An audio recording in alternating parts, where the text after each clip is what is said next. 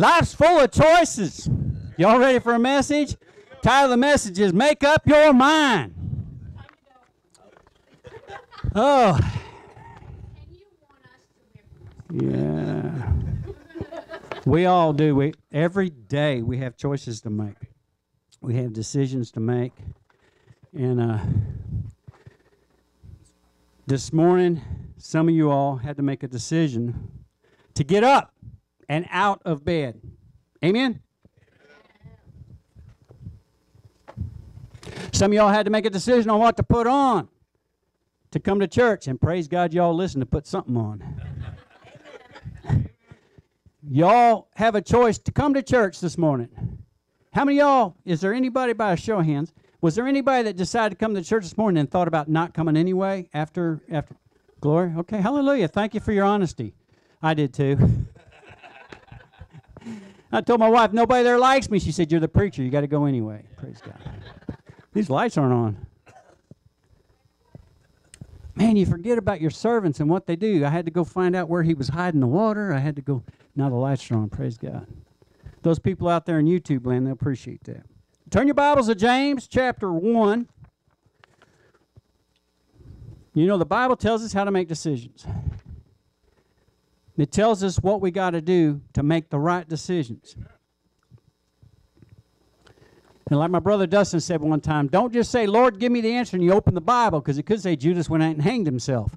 So don't, don't, don't do that. But there is wisdom in the Word of God and it will tell us what to do. Amen.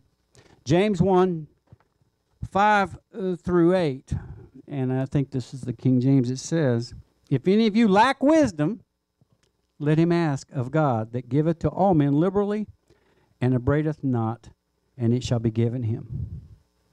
Interestingly, one of the persons that came up for prayer a while ago asked for wisdom.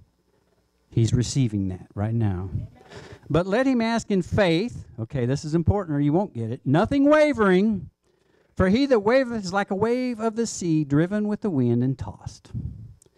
For let not that man think that he shall receive anything of the Lord. A double minded man is unstable in all his ways.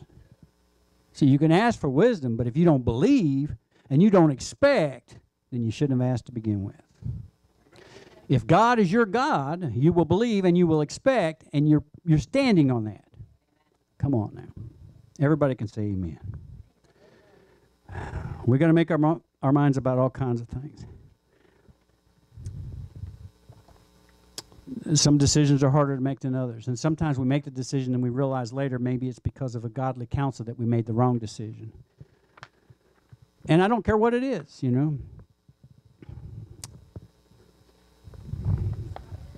I had a joke here, but the Lord said, don't share it. Um, how many of y'all, I know most of you men, you like to have your back to the wall and see the door when you go to a restaurant. How many men in here don't care when they're sitting in a restaurant? One, two, yeah, amen. My decision now is I got to figure out how to sit so I can see everybody, so I don't care about the door anymore. amen. So, but we got to have the decisions, you know, and, and, and, and we have to make them, and it's based on something. But if we don't base it off the wisdom from God, then we might be sorry later. Decision making is an unavoidable thing in our life. Like I said, you even had to decide whether to get up and get dressed and come today. Every day we have to make decisions. We have choices. We have choices about what we watch, what we listen to, and all of these I, I know some people they, they do it because they like it, you know, and they're just like I said, you know what? You can find a Christian song that has any beat you want. I don't care if it's from rap to country to r- hard acid rock. You can find that beat and they'll be screaming about Jesus instead. So there's no reason to listen to any other type of music. Honestly, if you pray about it, God's probably going to tell you, "Yeah, Pastor Monty just told you what you do." Yeah, that was God, not me. It's not in my notes. But there's there's just so much to make a decision about. Who you're going to hang out with. Not who are you going to go minister to, but who you're going to hang out with. I'm talking about really hanging out. Being a needs to be a like-minded brother or sister in Christ. Amen. Now, I wish I could tell you that you could open up your Bible and tell you exactly, but God gives us principles. There's going to be five principles we're going to cover today. James 1 5, it says, If any of you lacks wisdom, which was part of opening scripture, you should ask. You should ask God, which is the first principle. Ask God for wisdom. A lot of us pray, Lord, please open the right door, close all the other doors, and I'll know which door to walk through. And God's going, well, if you pray for wisdom and read my word, you'll figure it out.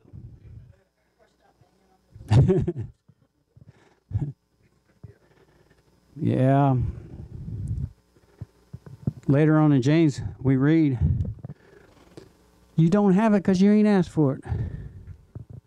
Honestly, I mean, I know I've caught myself before praying about all this, and Lord, if you'll just make, and I did this, Lord, give me the wisdom to figure out what I need to do. Amen? No, some of us, we panic, which means we don't do anything you know, or we do the wrong thing because we make our decision based off our feelings and emotions. I'm getting way ahead of myself. But I'll tell you, this country, I, I, I don't, I didn't look it up. I was going to, I forgot to look it up, but every city has a tarot card reader and a palm reader. And Gatesville's got one somewhere. Now, there ain't no sign on Main Street saying it, but there's one somewhere.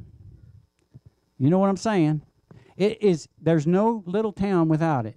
No big city, obviously. They they're in marquee lights. But I want you to know, I hope it if you're if you are a true believing Christian and and, and God is your God, that He is your tarot card reader. You know what I'm saying? He is your palm reader. You seek wisdom from Him, He will give you your answers. Amen. You know what's really nice too? is he says, without finding fault. This is so reassuring because that means that if you ask God for help, He's not going to belittle you. He's going He's not going to say, "Well, it's about time." You know all this other stuff you did wrong. He's He doesn't do that. God doesn't get tired of us asking for wisdom, and I don't care where or what it's about. What what to buy for your meal? I'm going to start meddling in a minute. But God's attitude is to, He wants to give wisdom without making us feel foolish. He wants to give us wisdom without making us feel dumb. Only Satan wants that. God just never gets tired of it. So the first thing is ask God for wisdom. And I already covered it. The second thing is believe God has a solution.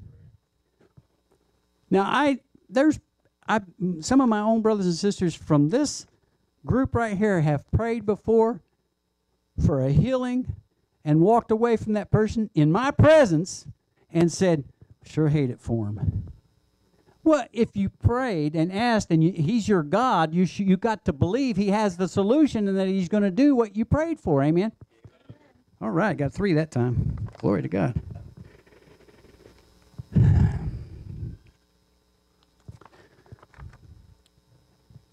to tell a little story. It's, I think it's from the first. Yeah, it's from the first book. Um, me and Tammy, we've done a lot of miles. Believe it or not. I mean, I didn't used to have a bicycle. I used to have a real motorcycle. Amen.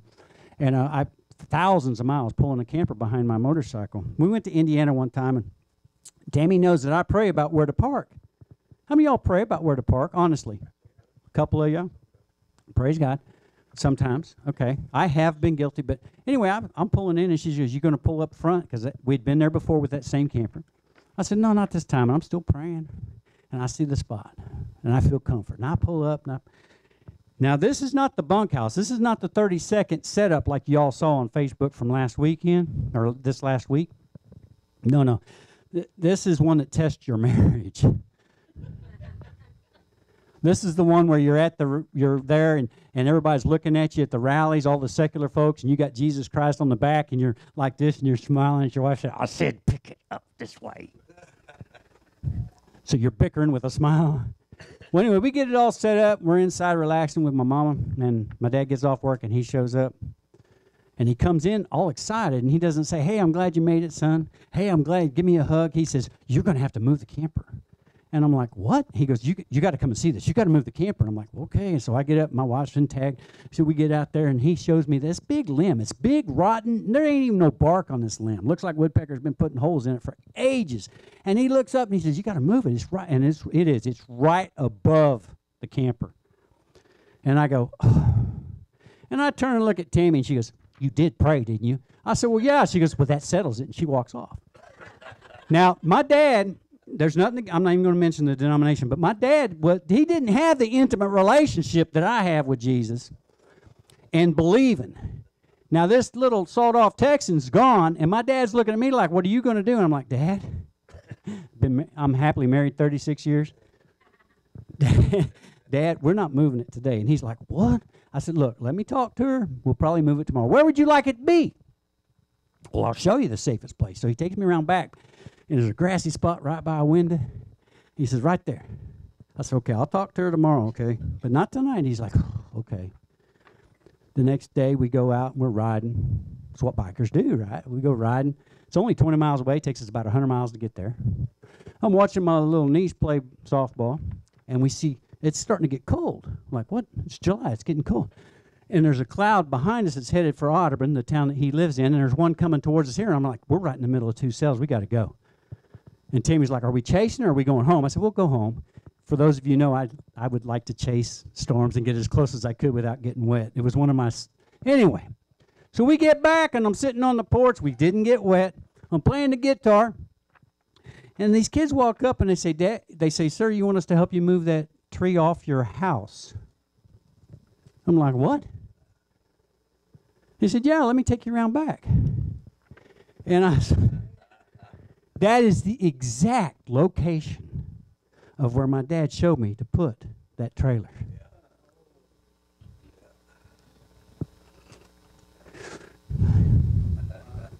So when you pray, believe God has a solution and don't second guess yourself. Which I'm getting ahead of myself again. Amen. Don't second guess yourself that picture's also, you know, it's under the album that says "Bringing the Book to Life," and uh, I'm glad I found that. And right over here, you can barely see it, but that is the trailer. On the other side of the house, still sitting under an old rotten limb that hasn't fallen. Praise God. The problem with too many immature Christians is they, they pray for God to fix everything, but they don't stand on the fact that He has the solution and He's already given you the answer, and you just got to believe it. Amen. The pro- oh Lord, I need this promotion. And then somebody else gets it that's not as qualified, and you're like, well, it was just the Lord's will. No, maybe God had given you some wisdom and you would have paid attention, you would have wrote a lot better resume because it was requested to begin with to have an updated resume. All right, before I keep meddling, let's get back to preaching, okay? What's it saying? It says, Because the one who doubts is like a wave of the sea. So, and it says, don't expect to receive anything if you're doubting, if you're second guessing yourself. That's it's all in the scripture, the opening scripture this morning. Ask God for wisdom, believe God has a solution, and don't second guess yourself. When my dad, I did. Now, this message is not about accountability partners, but my wife is my accountability partner. Amen. Had she not been out there, if that sold off Texan hadn't said, "Well, that settles," and walked off, I would have gave in. I know I would have. There's my daddy, you know. we sow seed of doubt sometimes within the body because we say something like that what dad, you know, if we're like minded, dad should have said, Did you pray about this? Well, yes, sir. Well, I guess that settles it. I'm going to pray too. Amen. Come on, somebody need to hear that. Don't second guess yourself. Glory. Now I remember a sister one time. You know, have you ever made a decision that you knew you weren't supposed to make? I mean, when you're thinking about making the decision, you don't seek the wisdom because you know God's going to tell you not to do it. So you go ahead and do something that you shouldn't do, like maybe. oh, come on, Pastor. Now you're This sister of mine, now I didn't know her very long. I hadn't known her for a long time. We're at Dairy Queen, and she decides, she makes a choice. Okay, she didn't seek God's wisdom on this one.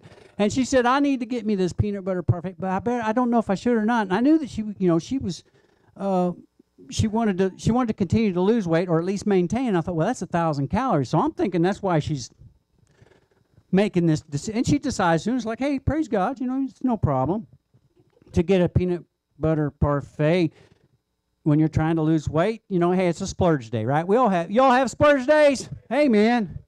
But later I see her doing this. I'm like, what's wrong with her? Why are you doing that? She goes, well, I'm starting to tingle. I don't know how much more of this I can eat. I said, what are you talking about? She goes, well, I'm diabetic. Whoa, okay. Amen. Oh, yeah, you think I tell lies up here? Well, no, no. Yeah, that was actually true. Well, the preacher actually told the truth. Praise God. I'm glad I had a picture of my camper. You wouldn't have thought that story was true either. Yeah. Keep giving me the keep giving me the material. We have a choice to keep our turn signal turned on or off too, don't we, brother? Where's he at? He's not. Ask God for wisdom. Believe God has a solution. Don't second guess yourself. Mm-mm-mm. And we got to focus on facts, not our emotions. That kind of goes with uh, her emotions was, man, I really want this.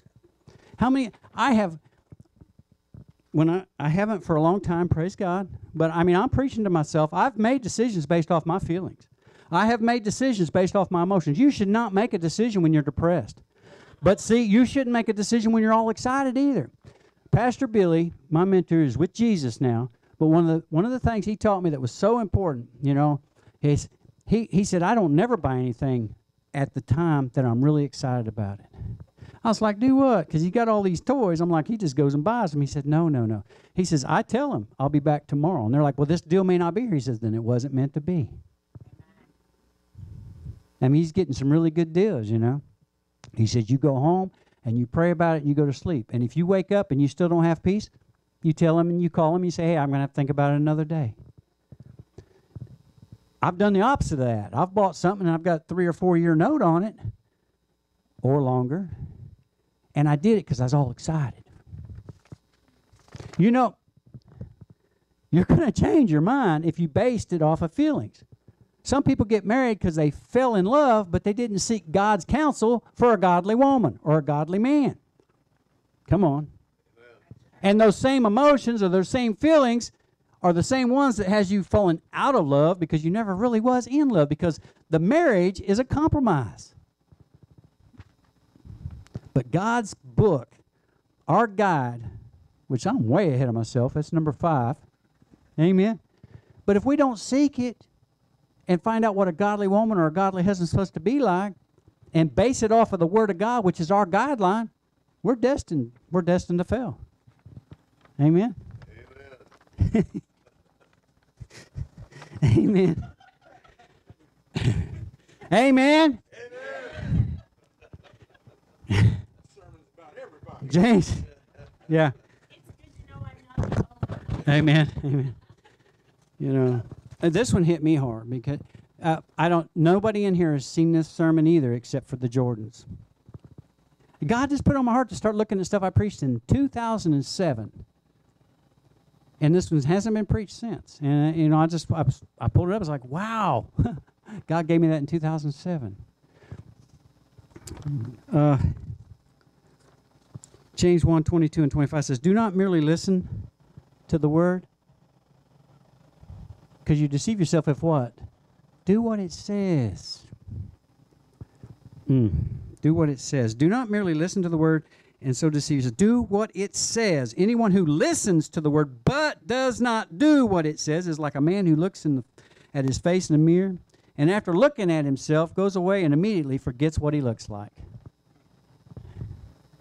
But the man who looks intently into the perfect law that gives freedom and continues to do this, not forgetting what he has heard, but doing it, he will be blessed. He will be blessed in what he does. So, I mean, base your life on the Word. There it is. Those are the five principles for any decision, for whatever. God gives it to you. So, as simple as whether I should eat something or whether I should go somewhere, what I should wear, you know, whatever, where I should park. Some of the things that we seem seem trivial, they're not if you have medical issues. Should I eat this for breakfast? And if you have medical issues, you know, God's already telling you. Now, if you seek wisdom, God's going to tell you that. You're going to know. That's why a lot of times we don't ask God because we don't want to hear the truth. You know, I've told people before they'll come to me and they're asking for what I think. The, you know, that's like my opinion or guidance. I'm like, well, you you you already know the answer. You're just hoping I'll tell you to do what you want to do. They're like, come on. Any of y'all been? Any y'all approached me and I've done that to you? Uh, One, two. Amen. I knew there was some in here. I mean, I'm just you know because just like, oh no, okay. And then they tell everybody else, and nobody else comes and asks me.